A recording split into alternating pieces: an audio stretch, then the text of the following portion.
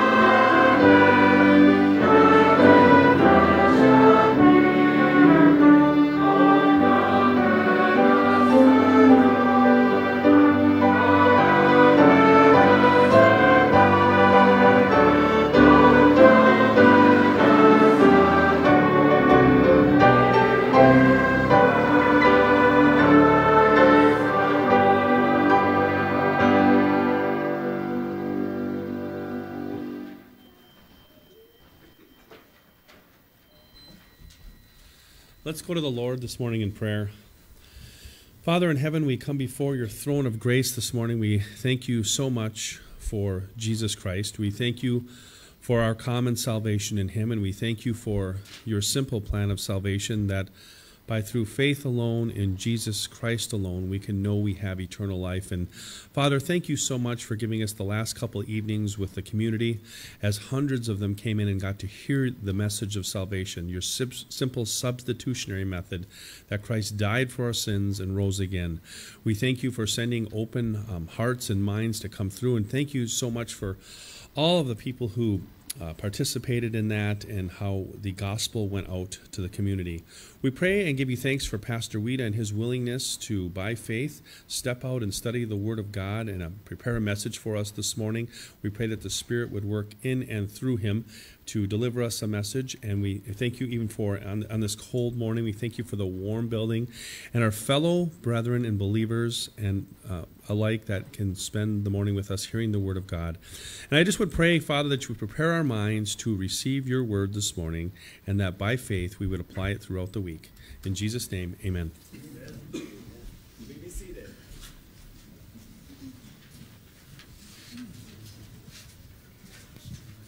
Good morning, church. Let's read scripture together. Now, the birth of Jesus Christ was as follows. After his mother Mary was betrothed to Joseph, before they came together, she was found with child of the Holy Spirit.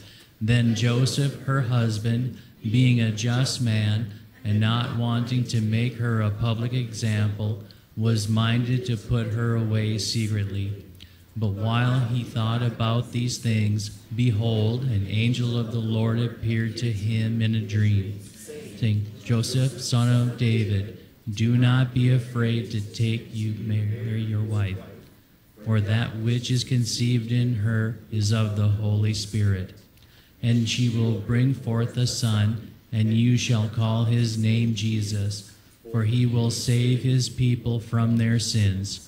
So all this was done that it might be fulfilled, which was spoken by the Lord through the prophet, saying, Behold, the virgin shall be with child, and bear a son, and they shall call his name Emmanuel, which is translated, God with us. Then Joseph, being aroused from sleep, did as the angel of the Lord commanded him, and took to him his wife and did not know her till she had brought forth her firstborn son, and he called his name Jesus.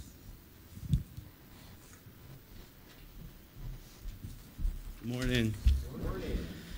All right, we'll start with um, choir is practicing this evening at 5 p.m. So if you're in the choir, try to be here for practice.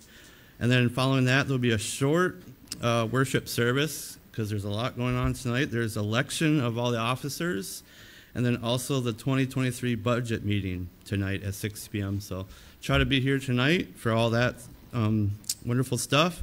And then Tuesday, we're gonna um, the men's Bible study will start back up at Travis's home on Mungershaw at 6:30 p.m. for the men's Bible study on Tuesday.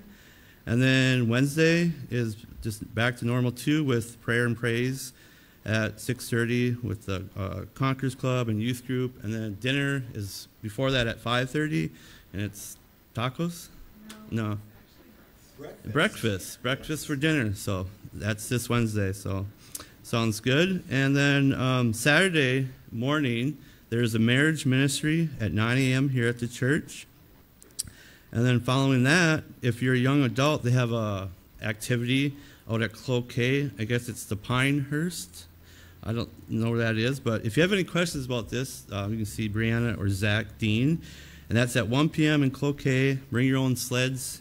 So that's for all the young adults. Um, and then Wednesday, December 14th, Tom Myers will be here. He is the Bible memory man. Um, he'll be here on Wednesday, the 14th at 6 p.m. So that everybody will be up here for that then, Pastor? Like youth group and stuff? Youth group and adults. Okay, so okay, so that's a couple weeks, and then um, the Christmas Eve service of course, is the 24th. We'll be here on, it's a Saturday at 6 p.m. We have a little um, thing in the back. If you're interested, you can hand them out. It's got the dates, the time, the address of the church. It's got a candy cane in the back. You can either take that for yourself or leave it on there. But no, you should leave it on there because I see it's got the candy cane story on the back. Tells you what the candy cane represents. So them are in the back if you'd like to hand them out. Um, so Christmas Eve service is at 6 p.m. And then Christmas Day is on a Sunday, and we're going to have a 10 a.m. Christmas Day service. So, and then there'll be no Sunday school or evening service, so just one service Christmas Day um, at 10. And the Christmas, um, the children's Christmas program is going to be Sunday, December 18th on Sunday night. And of course, they've been practicing, and they have some practice dates. I'll let you know. Um, I'll let you know the practice dates, but if you want to know uh, the practice dates, they will be on the QR thing. If you, oh, the Dana. it's hard enough doing this. no, I have to be nice to Dana. So. Anyways, um, I'm easily distracted. all right, practice um, for all the kids if um, December 9th, next Friday at 6 p.m., and then December 17th is a Saturday at 12 p.m., and December 11th and 18th, there'll be Sunday school time. So, all these will be on the QR code thing. So, if you go back there, in, all the announcements are on the QR code, all the times and dates. If you want to look at them in print, you can get that, and so all the time, so you have it all. Um, and then the Christmas card bulletin will be downstairs. So this year, when you're making your Christmas cards, make an extra one for the church. They'll have a bulletin so you can put it down there so all the church can see your Christmas cards. And I think that is it for announcements. So, and our next song will be "Angels We Have Heard on High." Three verses, not four. Right. Just three.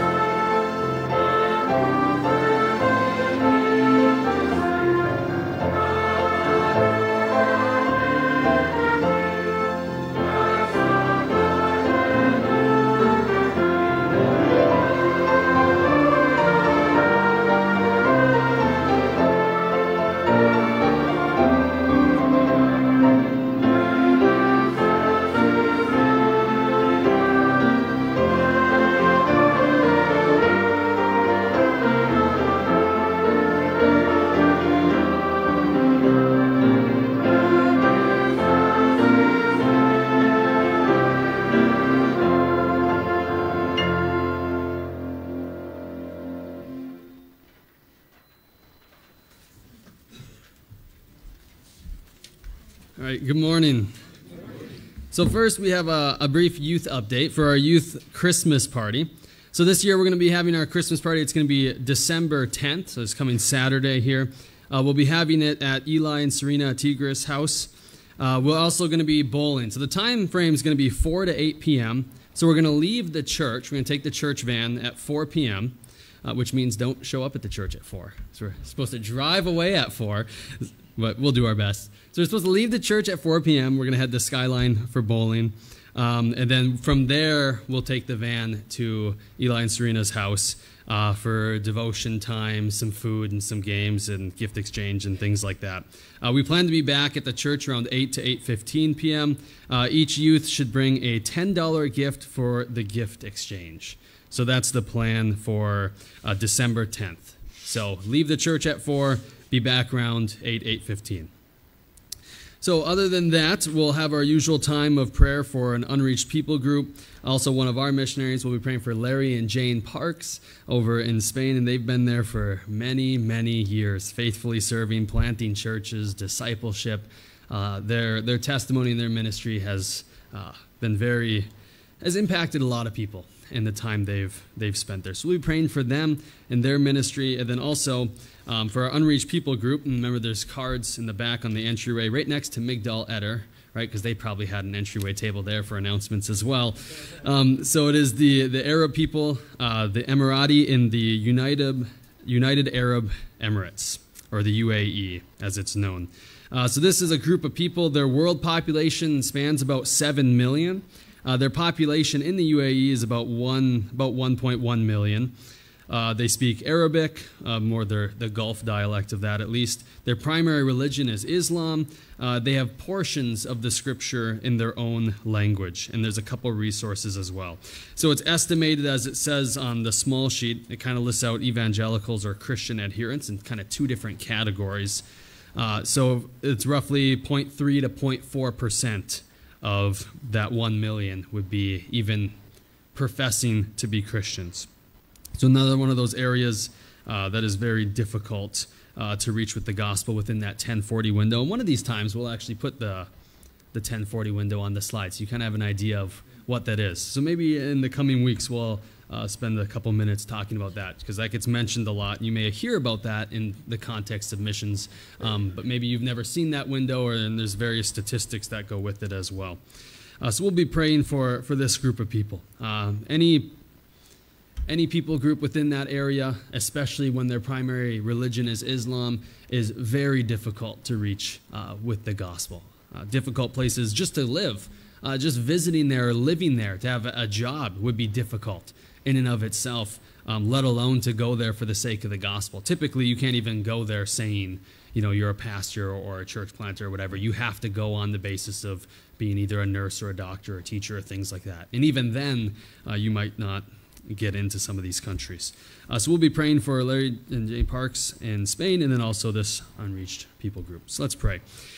Dear Father in heaven, uh, how grateful we are for the gospel. Lord, how thankful we are for missionaries, those that you have worked in, in their lives and have called and set apart uh, to the work of the gospel, Lord, overseas and in various other areas. So, Lord, we're thankful for the Parks and their long and faithful ministry for the sake of the gospel in Spain. What a blessing they have been uh, to us. What a blessing they have been to so many people over the years, over where they are serving. So, Lord, we'd ask that you would continue to guide and direct their ministry. Uh, Father, give them grace to endure whatever trials they may be going through uh, in this present time. Lord, may you work in the hearts of the people that they are ministering to as well, softening the hearts to the gospel and growing and unifying the church over there in Spain. Lord, we want to pray for uh, this group of people in the UAE as well, uh, spanning about 1 million, Lord, in that country that uh, do not know the gospel. They do not know Christ. Uh, they have not experienced uh, His grace uh, Lord, given through his death on the cross and his resurrection. Uh, those concepts are foreign to them. Lord, they're stuck in a, a false religion, working their way to please an angry God. That is what they think. That is what uh, they are being taught by their teachers in Islam. And Father, we know that's not the truth. We know that's not what the Bible teaches. Uh, so, Lord, uh, may you cause our hearts to ache for this group of people. Lord, with all the, the lost souls that are destined to spend an eternity in the lake of fire as of right now. And Father, may we diligently pray uh, that men and women would be raised up to be sent to this country, that they'd be willing to give uh, their lives, give their livelihood, to do whatever it takes, to stay as long as it takes uh, to minister, to spread the gospel, and to plant a healthy church in that area. Lord, a church that can, is worshiping the one true God in the proper fashion in the proper mode, Lord, a church that is discipling one another and is evangelistic, Lord, and even going and planting more churches. Uh, that is our desire uh, for this group of people and for this region. Lord, we know it's a difficult work, but we know nothing is impossible for you, for you are God. So, Lord, we're thankful for the gospel. We're thankful for the freedoms that we have in this country. And we'd always continue to remember and to pray for our leaders and those in high positions, those in elected offices, that you grant them uh, wisdom to lead well, to do as they ought to, upholding what is good and punishing what is evil. Lord, if it is your will and your desire, may you even use us or others to call our leaders to the gospel of Jesus Christ. May they understand their sin and their need for Christ, and may they turn to the one solution. Lord, for we know the only way to the Father is through the Son, Jesus Christ. So we're thankful for your grace, thankful for your guidance. Lord, we're thankful for your heart and your love uh, for the lost and for the unreached. And we'd ask your blessing on our service as we continue. In the name of Jesus Christ, amen.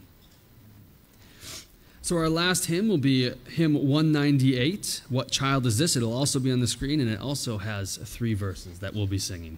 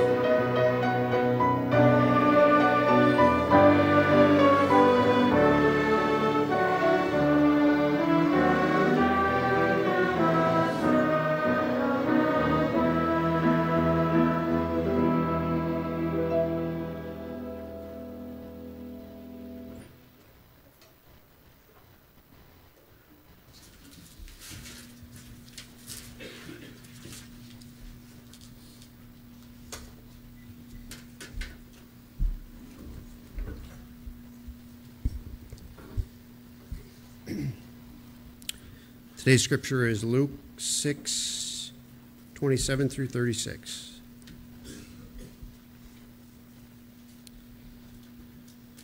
Okay, let's begin. But I say to you who hear, love your enemies, do good to those who hate you, bless those who curse you, and pray for those who spitefully use you. To him who strikes you, excuse me, to him who strikes you on the one cheek, offer the other also. And from him who takes away your cloak, do not withhold your tunic either. Give to everyone who asks of you, and from him who takes away your goods, do not ask them back.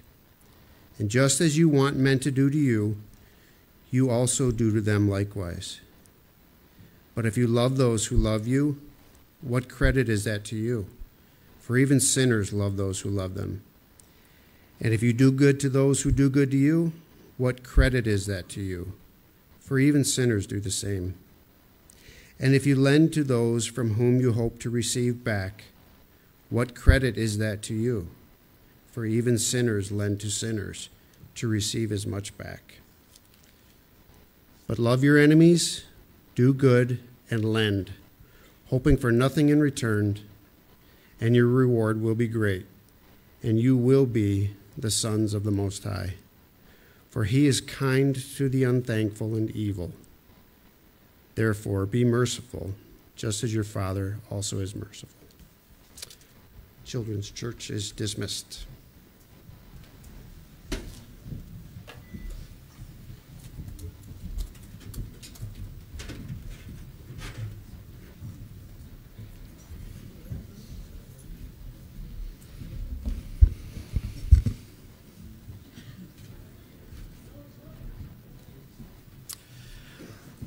Well, praise the Lord. I pray and hope that your heart is full and you've been thinking scriptures, you've been singing them, we've been um, just enjoying who Jesus is and all that he has accomplished on our behalf. We are in the Gospel of Luke, chapter 6, and we are looking at what I call the disciples' sermon. You have a similar sermon in Matthew 5 through 7, which is the Sermon on the Kingdom. But I do believe this Luke 6 sermon is, a is quite a bit different. There's some similarities, some similar illustrations and examples, but um, we'll, we'll begin looking at that Luke 6 text in just a moment. But before we do, um, I'd like you to go to Matthew chapter 13, verse 44, for one verse to kind of set the stage for what I see as the theme of Luke 6. Matthew 13, verse 44. And let's pray. Our Father, we bow before you, and we are so, so happy and we're so thankful for Jesus. It is such a joy to study his life to look at his teaching and his example and to see that he gave his life for us that we might be restored in relationship to you. He bore our sin in his own body on the tree. What suffering! Uh, We, we can't imagine the agony of Jesus on the cross when you turned your back to him and you didn't look upon him for fellowship or favor, just a separation in the Godhead as he bore our penalty for what for us would be an eternity. Oh, the anguish and torment to his soul. So much so, Father, that when he anticipated it, he sweat drops of blood in the Garden of Gethsemane. But we are so thankful that now, as believers, as children of the Most High God, we can be disciples, we can be learners from the Master and live lives with character and integrity with blamelessness and even holiness because you are holy. And we pray now for those who are, are believers that, that they would follow you with a whole heart.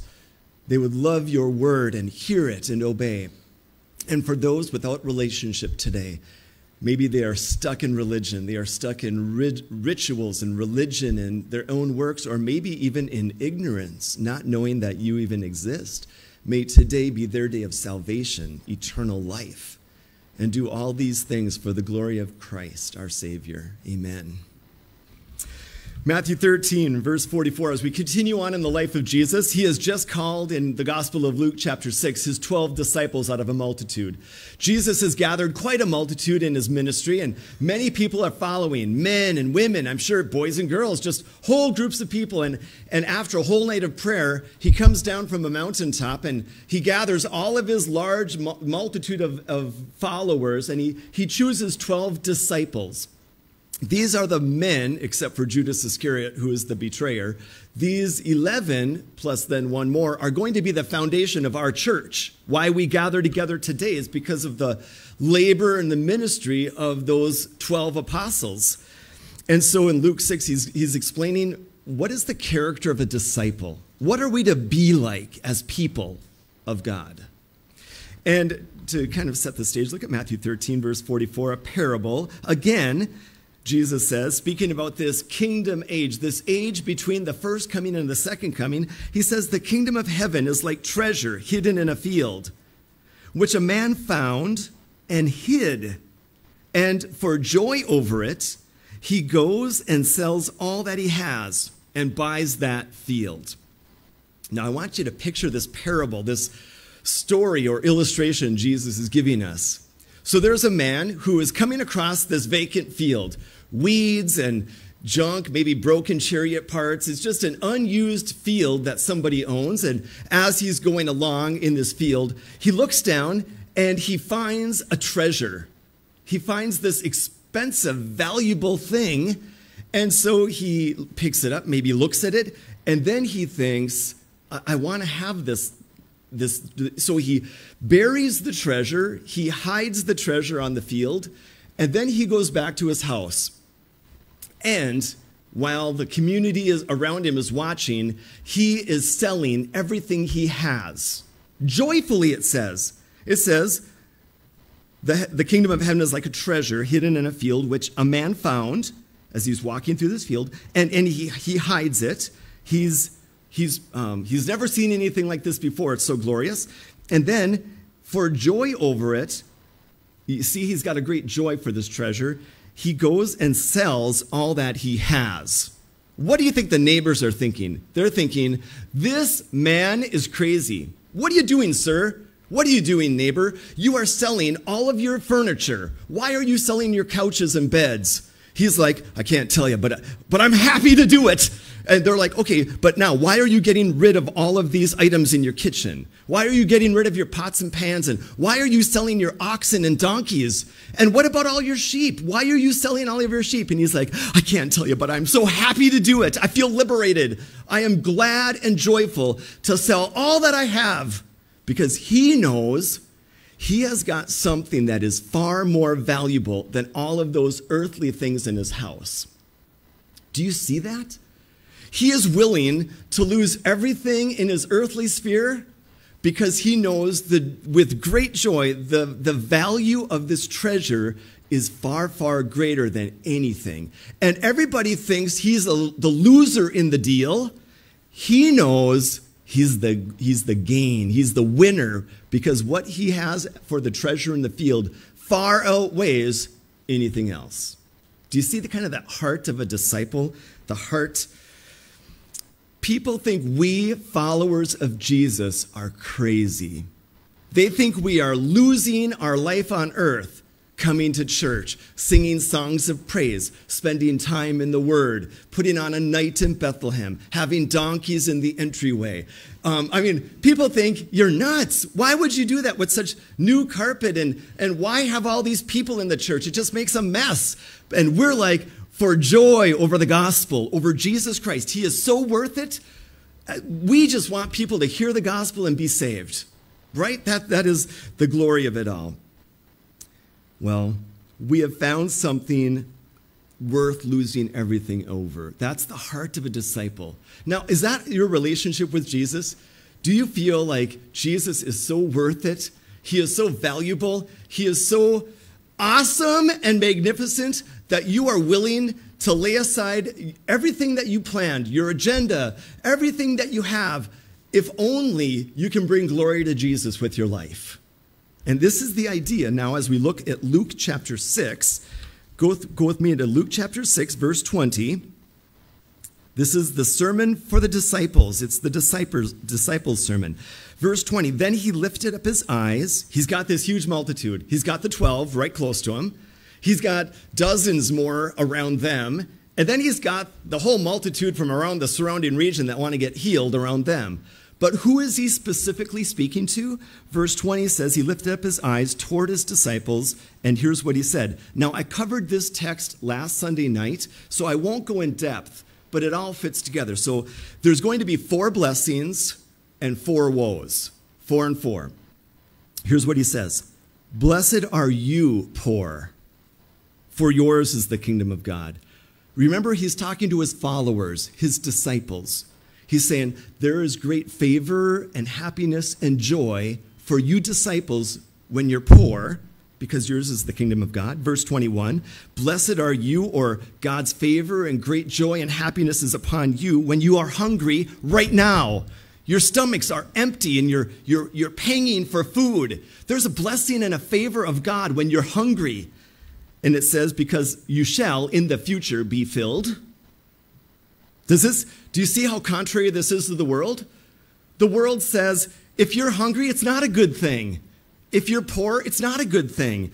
And, and then verse 21, the second half says, blessed or God's favor and joy and his countenance and your happiness is, will be upon you who weep now, for you shall laugh. The world does not like, like to weep. The world loves to party and laugh and, and, and riot and, and all of those things. Verse 22, this is the key. Blessed are you when men hate you and when they exclude you. Really? Is that a blessing when people hate me and when they exclude me? When they revile me and when they cast out um, my name as evil? Brian Weeda, blah, blah, blah, evil. I mean, should I just say, man, am I happy today? Oh, I wish more people would speak bad about me. And you know what? I wish I didn't have any food. I'm going to throw all my food away. And man, I, you know, I'm going to hurt myself. So I start crying because God loves tears more than he likes laughter. And this is the kind of God I serve. Is that the idea? No, because the condition is at the end here, verse 22. When you, when all of the, when you are poor, when you're hungry, and when you weep, and when men hate you and they exclude you, for the Son of Man's sake for the Son of Man's sake. Do you know why you're hungry? Jesus is telling his disciples, because you have identified with me and you are following me with a whole heart. Now, I don't think you get it. I can tell you don't get it yet. So let me tell you this if you were living in Jesus' day, almost everybody had a government job of some kind because you were either paying taxes to the Romans or you were working in one of those industries, or the temple ministry was huge. The temple was not just a religious place where you offered an animal sacrifice, it was a business. They, the temple employed thousands and thousands and thousands of people. And if you told people, I am a follower of Jesus of Nazareth, he is God in flesh, he was crucified and risen, and it just happened weeks ago, and now I follow Jesus, they would say, You lost your job, get out. We want nothing more to do with your kind. The Romans hated Christians. They tolerated Judaism. So if you were a Jew, if you were part of the Jewish faith, the Jewish religion, Rome had no problem with you. Go to your synagogues, do what you want. But if you were a Christian, the Romans said, we're not going to give you any money. We're not going to give you any help, no assistance. You, don't have, you get no job with the Roman government.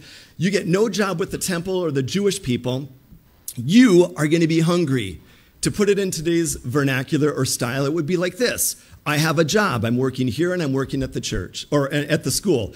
And if the school were to say, you have to acknowledge people's genderlessness or non binary, or oh man, I don't even know what, what they're all called or what they, but if the school were to say, you have to acknowledge this or you are fired, I would say, you have to fire me because I will not do that. I will not lie to our students. Now I'm going to lose my paycheck there. And then the government says to me as a pastor, you have to marry homosexuals. You have to counsel them to be married and you have to, you have to approve that. I will say, I cannot do that. And they're going to put me in, in prison. And so now I'm hungry. I'm um, hated. I'm excluded. I'm reviled for the Son of Man's sake. Why?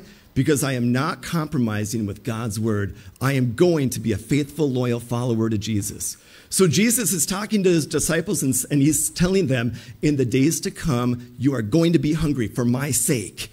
People will not feed you because you identify with Jesus. They will, you will weep because they will hurt you. They will persecute you as they did the prophets. Do you see why they're hungry and poor? It's not because poor people go to heaven and rich people don't. They're poor because of Jesus, because they stood up and said, I am following Jesus. Now, in our country, can you imagine if every genuine believer said, I am not going to compromise God's word? What God's word says by the Holy Spirit's power, I will do. I will live according to the New Testament precepts for the church, regardless of the consequences, which means I'm not going to do a lot of things the world endorses. I'm not going to do, as a matter of fact, anything the world endorses, I am suspect of. And I am going to wholeheartedly follow Jesus' teachings, which the world despises and hates. Can you imagine what kind of impact that would have on our country? So, this is what discipleship is. Discipleship is so, it's not being obnoxious, it's not being evil and mean and cruel with the gospel. It is simply saying, I am going to act like Christ and live like Christ. And since the world hated him, they're going to hate me. It just comes with the, it comes with the program of discipleship.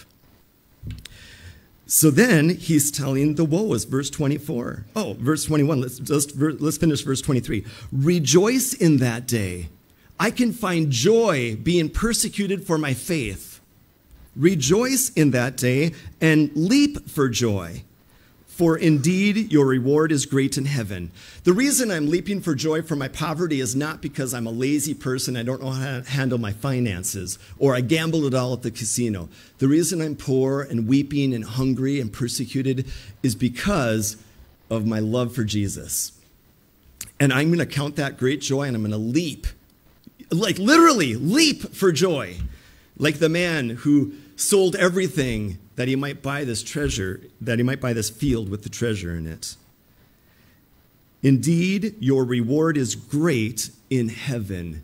Do you know where we're looking for reward? Not here on earth. I don't expect the world to exalt me and, and throw money my way and, and privilege and power. I don't expect the I don't ex, I don't expect anything from this world. My reward is coming from Christ. And that is the greatest reward. That is, I, aren't you willing to just say, this world does not matter, and the things of this world aren't the things I'm holding on to because my reward is far greater coming from Jesus in heaven? What would you want? Would you want your whole rich life on earth with every pleasure and every closet full and, and many houses and vacations, but you die with no reward in heaven? Or would you rather just get through this world living for Jesus and get a great reward later? It's called, get this, delayed gratification. Do you know what our, our culture teaches? Immediate gratification. Oh, Facebook. You scroll on Facebook, they are keeping track of how long you stay on an ad. If you are scrolling and you look at an ad for even a half a second, their algorithms pick that up and then boom, boom, boom, they've got you programmed. They know just what you want, so they're going to stay on that. And man, you want immediate gratification? Oh, on Amazon Prime, you don't even have to put it into the cart. You can slide the button, buy it instantly with one click. That's convenient. Oh, do you, do you see how we are trained? And Jesus is saying, no, this is not the way of Christ. All right? This, so he's going to, be going to go on at the end of verse 23 For in like manner, their fathers did to the prophets. Just like the Jewish leaders and the Jewish people did to their own prophets, so our culture will do to us if we're following Christ. We're not talking about a way of salvation. We're talking about after you're born again, as a disciple, as a follower of Jesus, how will you, what's your character like? Well, verse 24. Now there's four woes. I, I like what Leon Morris says about the word woe here in the Greek it's not, more, it's not like such a condemnation as it is a lamentation. Uh, it's more of a grieving and mourning for the way that we're living. So it's not a way of salvation. It's not saying rich people now go to hell. He's saying, but woe to you, you disciples. Woe to you, disciples who are rich.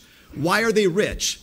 It's not because rich people are bad, it's because they have not identified with Jesus publicly. They're, they're saying, I'm a secret Christian and I'm just going to have my money and live with it. I'm not going to, if I stand up for Christ, I'm going to lose my money. And I'd rather keep my money right now. Woe to you who are rich, for you have received your consolation. Enjoy your money on earth because guess what? I, I always tell Melissa this. Where is she? Right here. I always tell Melissa this. Everything we buy is going in a dumpster. Do you know that? I don't care if it's a new pillow, a new picture, a new dish.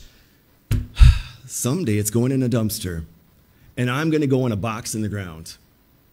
That's it. I mean, if we're going to put all of our value into those things and they're going to end up in a dumpster and in the Rice Lake landfill, I'm like, hey, this is nice, but Rice Lake landfill, here it comes. Not now, maybe 20 years, but it's just the fact of life. Here, woe to you who are rich. That, for right now, you, that's all you get. You've received your consolation. That's your reward. Verse 25 Woe to you who are full, for you shall hunger. Woe to you who laugh now, for you shall mourn and weep. Yeah, you know where there's mourning and weeping and things? It's, it's at the reward seat. When you look at your life and you said, I could have lived for Christ and I didn't. You know, I always tell Melissa, I just want to live with no regrets. You sell a house, you buy a house, you got all sorts of things, and you're like, you know what? No regrets. It's done. We did it, you know? No regrets. I want to be able to live. So when I approach Jesus at the reward seat, I'm not like, oh Lord, if I could just go back and do it again, I would do it all differently. Really, I would. Now that I see your glory, I see you face to face, I see heaven and the reward. Oh, I, if I could just, Lord, let me go back to earth and I will make it up double time.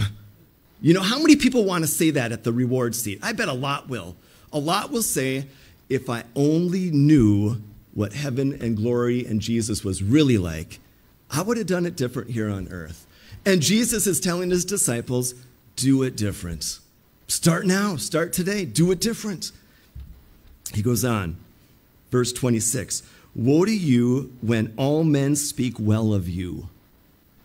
If everybody speaks well of you, what are you doing? You are compromising. Do you know that's what politicians have to do? They have to compromise a little here, a little there, and then they end up compromising everywhere. And so, if a believer is going to compromise and let everybody speak well of you, you know, with, your, with you, I'm saying one thing, and then with another group, I'm saying another, just to keep them happy and keep you happy. I'm people pleasing and I'm not Jesus pleasing. Man, that's what the false prophets were like. The false prophets were like, hey, we don't want to hear any message of judgment and sin and hellfire. We want messages that when we go home, we're singing fantastic, joyful songs. So none of this bad news, give us only good stuff. And so the false prophets would be like, oh, God told me that war is coming, but peace comes to you. Well, there you go. That's what we want to hear.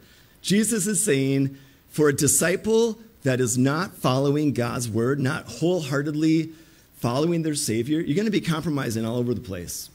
And um, this is what the fathers did to the false prophets. So be faithful to Christ.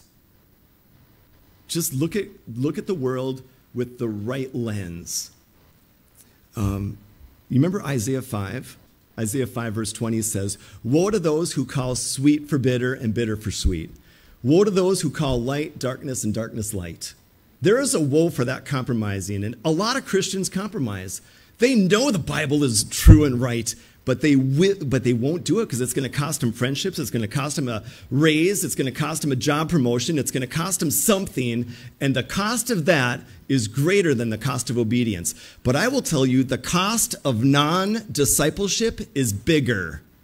The cost of not being a disciple of Jesus is far bigger than anything else but that's the way people like to act. Well, let's go on to the next section, and this might be all we get today is this 27 through 36.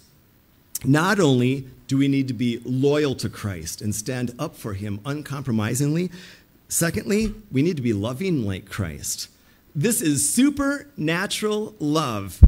Verse 27 says, But I say to you who hear, love your enemies, do good to those who hate you Well, there's different kinds of love. There's eros love, and eros love is the um, emotional, erotic, physical, sensual love between like a man and a woman. That's eros love. Um, then there is storge love. Storge love is is familial relationships. It's like sisters with sisters, moms and dads with children. It's, it's natural affection. Moms and dads should naturally love their children, and children should love each other, and children should love their parents. Um, then there's filial love, which is brotherly love. It's, it's camaraderie. It's we're, we're comrades. We're together in this type of love. And then the final love, which is the love that is not dependent on human emotion. All of these other loves are based on feeling. You know, they're, they're largely based on how do I feel about you? Are you do I feel like you're my brother or not?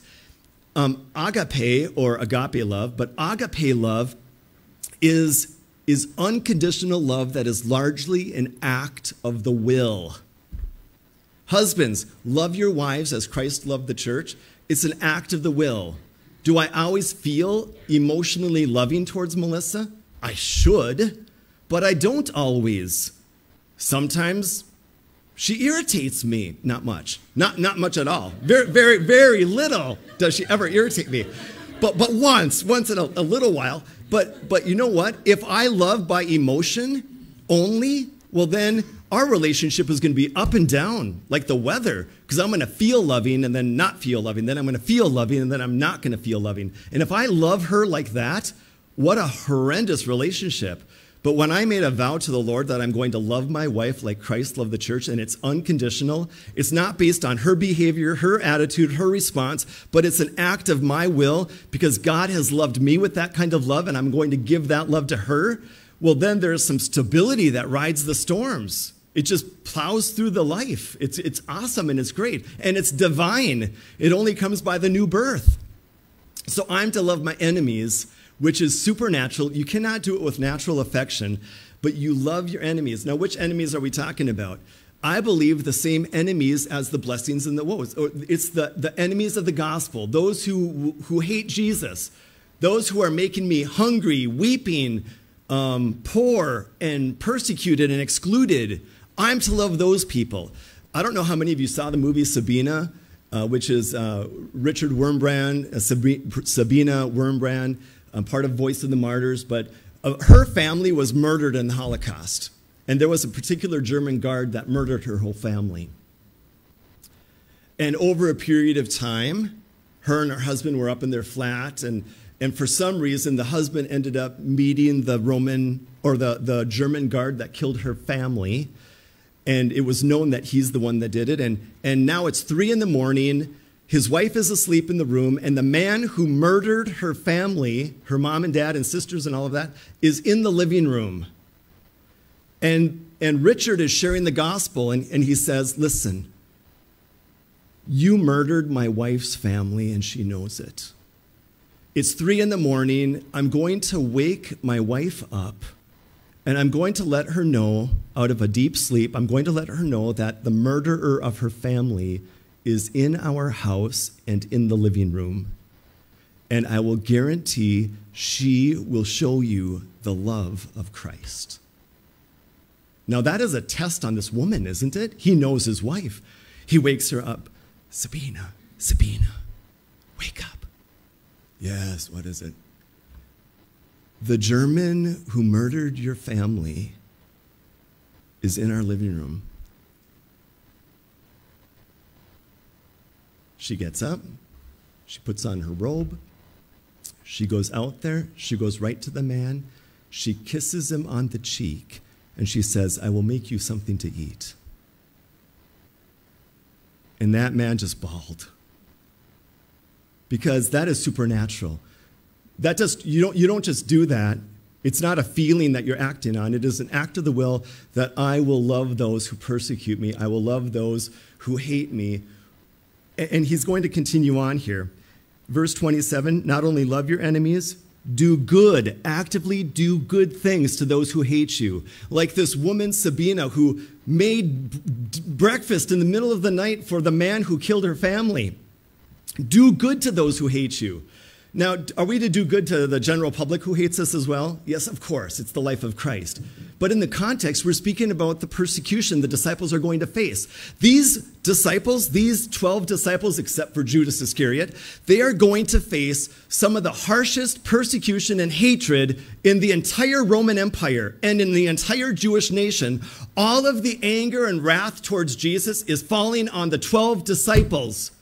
And when they are so mistreated, they need to respond with good. They need to actively do good things to those persecutors. Now, when, when persecution comes upon us in America, how are we going to treat those who persecute us? Are we going to be like, oh, I hate America. Oh, I hate them. I wish I could kill them. I'm going to take up arms and go against them. Or are we going to love those who hate us like Christ loves? This is the challenge of discipleship. He goes on in verse 28 Bless those who curse you.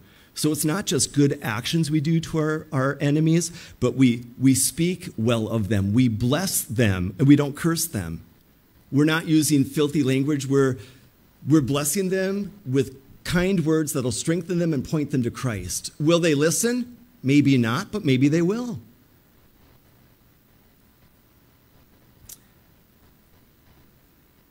Pray for those who spitefully use you. That's from the heart. You genuinely pray and say, Lord, this man hates me, this woman hates me, they're persecuting me, they're, they're mistreating me, they're reviling me, they're making me hungry, they're making me weep, they're making me poor. But Lord, I pray that you would save their soul. Use me as a testimony to be kind and gracious, just like you are kind and gracious to the unsaved. And may they see the light of Jesus and respond to the gospel as I have responded to the gospel. So, Lord, save them. Give me the power and strength to live a godly life and a godly example for these people. Do you see for the disciples what this did for them for the next few years as all the world turned against them? No wonder why in Thessalonica, the Thessalonians, after, the, after Paul had been in Thessalonica and believers were popping up all over, the, they were saying, These people have turned Jerusalem upside down and they have come here now. Literally, their influence in Jerusalem was radical with the gospel. And it was well known these Christians have overturned the city of Jerusalem and now they're in our city. What a great testimony, isn't it?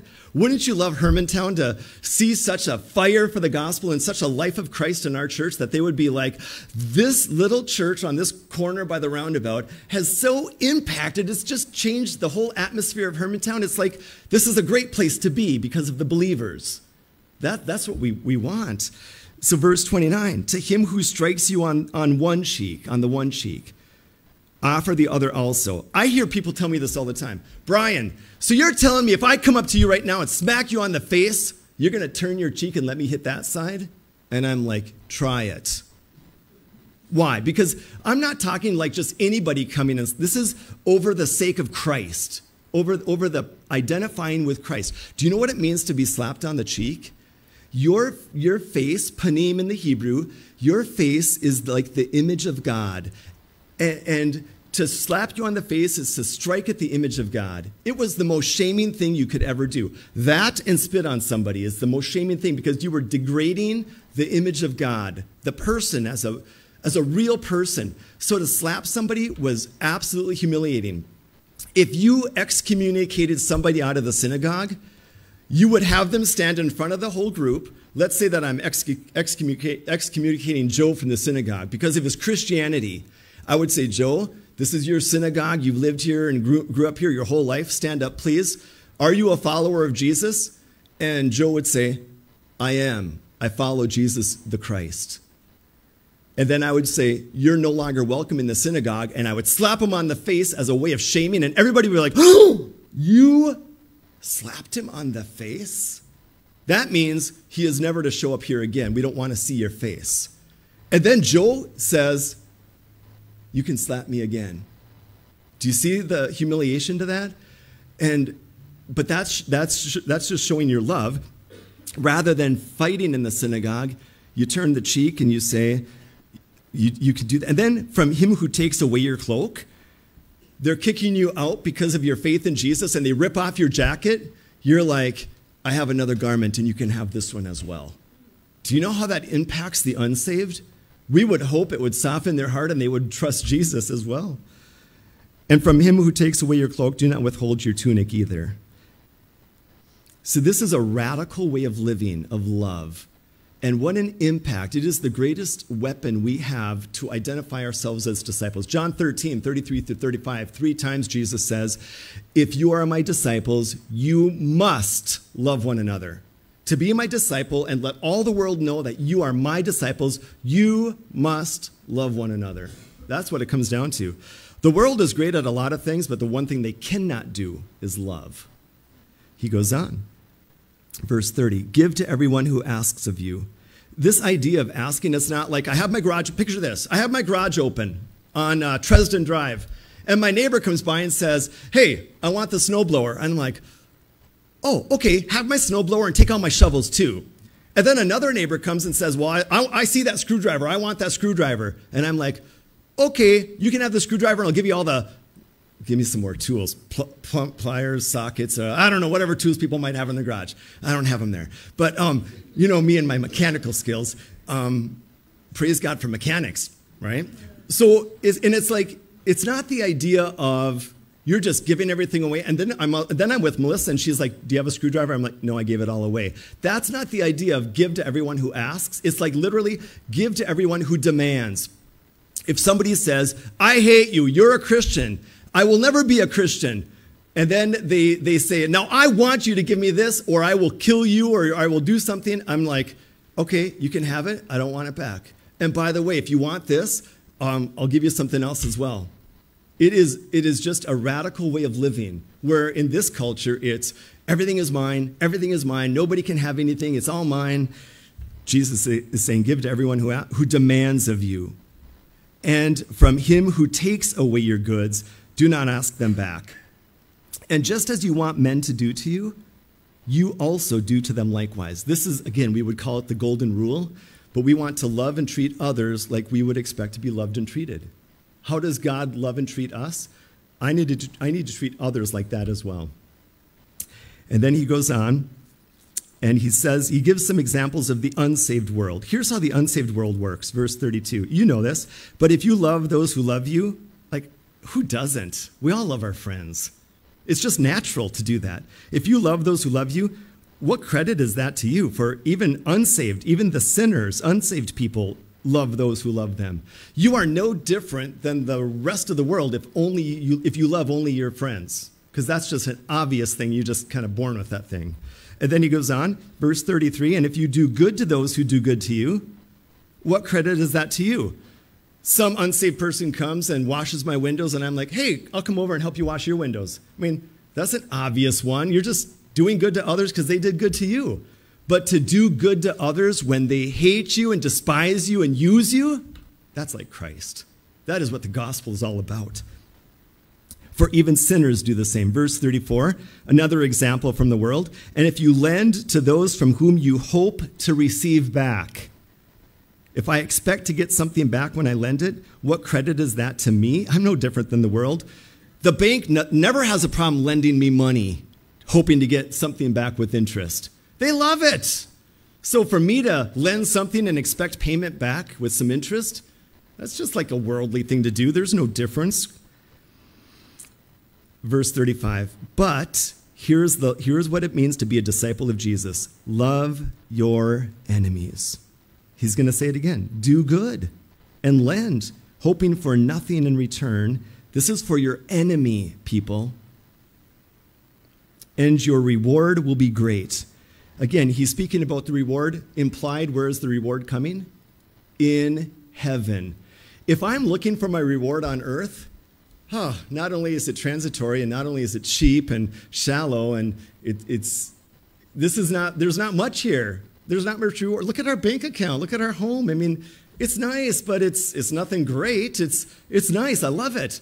But if this is my reward, that's a sad life. But if if if if by the power of God and his word I follow Jesus and give him my life, I will gain everything in the future. Do you know that anything you grab and hold on to in this world, in this life, you will lose in the end, but everything you release your hold of, you get back in the end in far greater measure.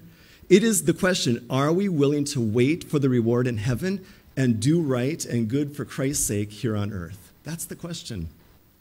And I think personally, and again, this is just a personal note, I think there are not that many believers that are willing to and I'm not saying about this specific group by all means I'm not I'm saying in Christianity in general there's not many that are that devoted followers of Christ that are true believers I mean obviously you being here on such a regular basis in ministry like you do you're a different group which is why I'm privileged to shepherd you this is the kind of group every pastor wants to shepherd but typically most people who would profess salvation in Jesus they don't live lives that are all about Jesus.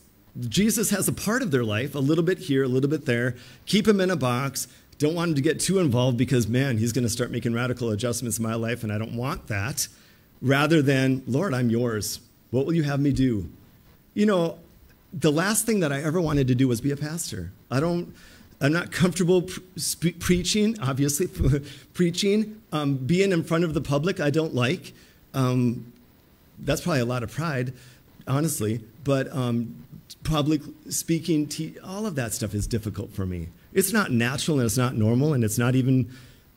It's not even well. It is fun, but it's it's hard. It's a hard fun. Be, if you just put me in a in a if you just said read books and write book reviews, man, I'll take that job any day of the week. Just read and write, read and write. But here we go. We're going to finish this up. Your reward will be great. Verse 35. And you will be sons of the Most High. It doesn't mean that's how you become a son of the Most High, but you begin to act like your dad. Now, I, I just, I do have a, such a deep and a great love for my dad, and I'm glad he's with our Savior in heaven because that's, he had those hard, hard weeks, really hard last year. But I'll tell you what, I am so much like my dad. I am. I would look at my dad the last 15 years, and he would do things, and I'd be like, oh, Melissa, I do that same thing. I didn't even know it he it was great. I was just like, I am just like my dad. And um, if you do these things, you are just like the Father in heaven. You, you then are, you look like a son of the Father because you're imitating him and you're acting like him and you're thinking like him. Then he's going to conclude with this, these last thoughts for he is kind. Don't you agree? God the Father is kind to the unthankful and evil. That's just his nature. He's just a kind God. And you know, we Christians, we believers in Jesus, can I say this? Just be nice. Some of the most difficult people that in my life have been believers, that have been the most nasty to me have been believers. Some unsaved people would never treat me that way that I think believers have treated me. And honestly, I have been just as nasty and, and mean as a believer to others when I really just I need to be kind. It's just I I've sought forgiveness for things like this. Um, so I'm not saying that that I'm perfect here by any means, but the Father is kind to the unthankful and evil, and I must therefore be. Therefore, be merciful to others. You know what mercy is? Not giving them what they deserve. Listen, I'm going to conclude with this. I am going to live my life not demanding payment for all the people that have hurt me. Now, some of you have been hurt very bad by people. And true mercy is not giving them what they deserve because my Father in heaven isn't giving me what I deserve. So, those who have hurt me and used me and abused me and slandered my name, I'm not going to demand payment. I'm not going to give them what they deserve Rather, I'm going to be kind. I'm going to, I'm going to actually do kind things for them in the name of Jesus with hopes that they will also be saved. Do you see the whole perspective here? This is radical. This is not easy to preach because I'm uncomfortable because I am not here. I am not loving like Jesus is loving, and I'm not all sold out like I want to be as a disciple. But I, I want to grow. I want to be there. I want to get there. I want to pursue Christ with my whole life. And that's this whole sermon. Do you see why it's right after the 12? Because these 12 need to hear this because their life's not going to get easy. They're going to need this teaching for the next years of their life until they die and go to heaven. Well, we're going to finish up the rest. Um, the, the, the last two points are also phenomenal. I'll probably save those for next Sunday. And tonight we're doing something a little different that'll, I think, be very special with our communion service. So read the rest of the sermon to the disciples, and we'll study that next week. Father, thank you for our time together. And it is so convicting to me to read these words of Jesus. I almost picture myself sitting on that hillside in this level plain um, by the Sea of Galilee the warm Middle Eastern breezes coming across our faces, and I hear Jesus explaining um, what life for a disciple is like and how we need to respond to this world and how we need to, what kind of character we need to be effective followers of Jesus. We know that this isn't a way of salvation he's speaking of because salvation is a free gift. It is not earned and it's not deserved. It's not based on our behavior, it's based on what Jesus has done for us. And I pray for anyone today who's not a believer in Jesus, that they would abandon their rituals, their law keeping, their good works, get away from their ignorance, and come to believe and have faith in the one true God, Jesus Christ, his death for our sin and resurrection. And then, now as a believer, they can, with joy, literally like sell everything they have to, to have this treasure, just like we are willing to abandon everything for serving and following listening and obeying the Lord Jesus Christ. So bless this congregation. Watch over our church this week. Thank you for the many ministries. Keep us encouraged and strong. And may we be such a light, people around will wonder who we've been hanging around with, and we can let them know we've been around Jesus. So thank you for your word and for our Savior. In his name, amen. All right, well, God bless you all. Um, I expected to get done with chapter 6 and into 7, but God bless you. We'll continue next week. See